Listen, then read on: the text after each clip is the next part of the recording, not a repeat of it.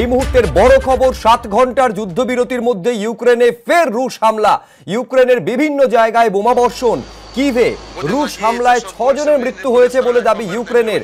ইউক্রেনে ঘর ছাড়া এক লক্ষেরও বেশি মানুষ, জানালো রাষ্ট্রপুঞ্জ। শতাব্দীর সব থেকে বড় শরণার্থী সংকট, মন্তব্য রাষ্ট্রপুঞ্জের।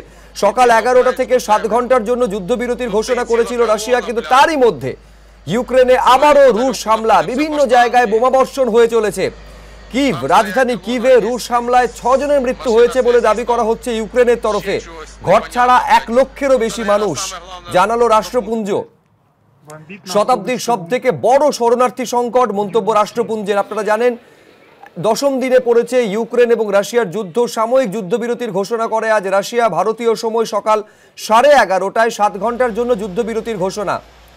ইউক্রেন থেকে সাধারণ মানুষকে নিরাপদে বেরোনোর জন্য মাত্র সাত ঘণ্টা সময় দিয়েছে রাশিয়া, কিন্তু তারই মধ্যে ফের ইউক্রেনের বিভিন্ন জায়গায় বোমাবর্ষণের খবর পাওয়া যাচ্ছে।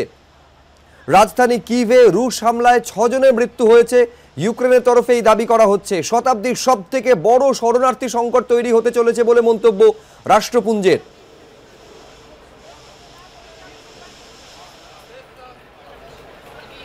এর আগে সকাল সাড়ে এগারোটায় সাত ঘণ্টার জন্য যুদ্ধবিরতির ঘোষণা করে রাশিয়া। ভারতীয় সময় সকাল সাড়ে এগারোটায় ইউক্রেন থেকে সাধারণ মানুষকে নিরাপদে বেরোনোর জন্য মাত্র সাত ঘণ্টা সময় দিয়েছিল রাশিয়া।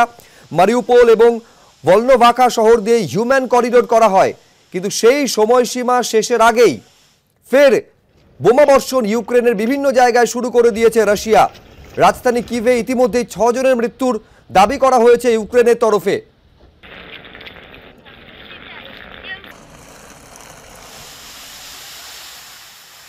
প্রসঙ্গত মারিউপোলে প্রায় চার লক্ষ চল্লিশ হাজার এবং ভল্লভাকায় প্রায় একুশ হাজার মানুষ আটকে ছিলেন বলে খবর, আর তার মধ্যে কিছুটা স্বস্তির খবর পাওয়া যাচ্ছিল যখন সাত ঘণ্টার যুদ্ধবিরতির ঘোষণা রাশিয়া করেছিল, কিন্তু সেই সময়সীমা শেষ হওয়ার আগে ফের রুশ হামলা শুরু হয়েছে ইউক্রেনের বিভিন্ন জায়গায়। কর্নেল পৃথ্বীরঞ্জন দাসের সঙ্গে ফোনে আমরা এই মুহূর্তে যোগাযোগ করতে পেরেছি। কর্নেল দাস, সকাল সাড়ে এগারোটায় সাত ঘণ্টার জন্য রাশিয়া সিজ ফায়ারে ঘোষণা করছে, কিন্তু তারপরে বিভিন্ন জায়গায় ইউক্রেনে বোমাবর্ষণ হচ্ছে বলে ইউক্রেনের তরফে দাবি করা হচ্ছে। এটা তো সোজাসুজি সিজ ফায়ার ভায়োলেশন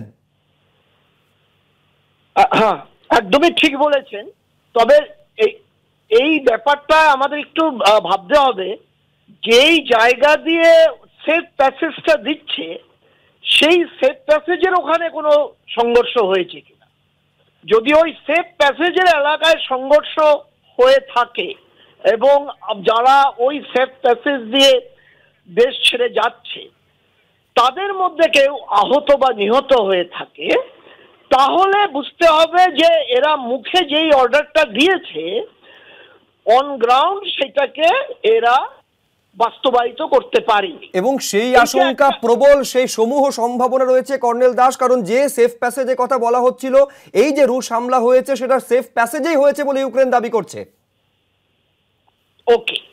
যদি ইউক্রেনের সেখানে হয়ে থাকে তাহলে এটা অত্যন্ত ভয়ানক ব্যাপার দুর্ভাগ্যজনক ব্যাপার এবং যেখানে এখন রাশিয়ার কথা কেউ বিশ্বাসও করবে না।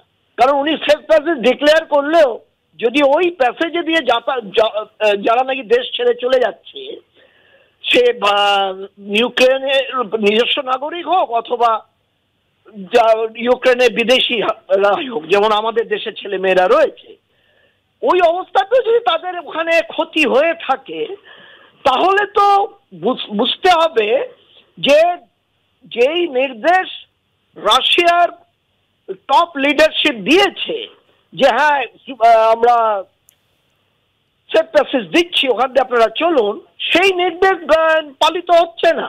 তাহলে কিন্তু একটা অরাজকতামূলক পরিস্থিতির সৃষ্টি হতে চলেছে। সেই ক্ষেত্রে সমস্ত বিশ্বের যেসব দেশগুলি আছে, সবাই বসে একটা স্ট্রং সিদ্ধান্ত নিতে হবে। একটাই এজেন্ডা যে প্রপার সেফ প্যাসেজ দাও। এবং সেই সেফ প্যাসেজে দরকার হলে জাতিসংঘের পিস কিপিং ফোর্স থাকবে। তারা ওই প্যাসেজে গার্ড দিয়ে সে লাস্ট লোকটা যেটা ওখানে, যারা ওখানে থাকতে চায় না, চলে আসতে চায়, চলে আসলে তখন পিস কিপিং ফোর্সকে উইথড্র করা যেতে পারে। এইটা সেই স্তরে যেতে হবে। তা না হলে আমাদের এই নিরপরাধ, অসহায় মানুষগুলোর ক্ষতি হয়ে যাবে। ধন্যবাদ।